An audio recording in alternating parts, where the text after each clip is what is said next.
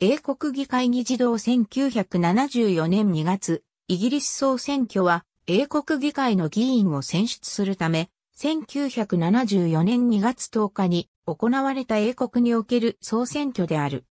首相に就任した労働党党首のハロルド・ウィルソン・ヒース首相この選挙は前年から行われていた単労が主導するストライキに運輸や電力の労働組合が追随し、電力不足が深刻化する状況下で行われた。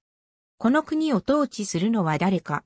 労働組合か。それとも選挙によって選ばれた政府家のスローガンに。象徴された。ヒース首相の対労働組合強行路線に対する信任投票の色合いが。強いものとなった。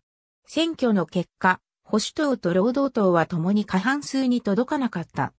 保守党は第3党の自由党の協力を得て。政権を維持しようとしたが失敗し、比較多数で第1党となった労働党の党首であったウィルソンが首相に就任した。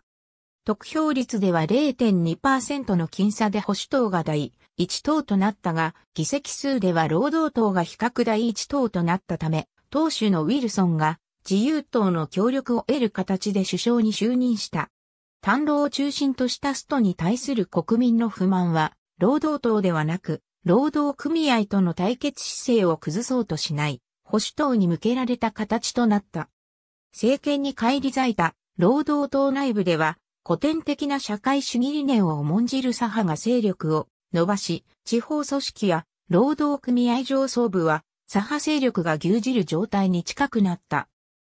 林信吾著、これが英国労働党だ。新潮選書130ページ。 Plaid Cymru は、ウェールズ語の呼び名で、英語では The Party of Wales で直訳すれば、ウェールズの党となる。脚注一と、同著より。ありがとうございます。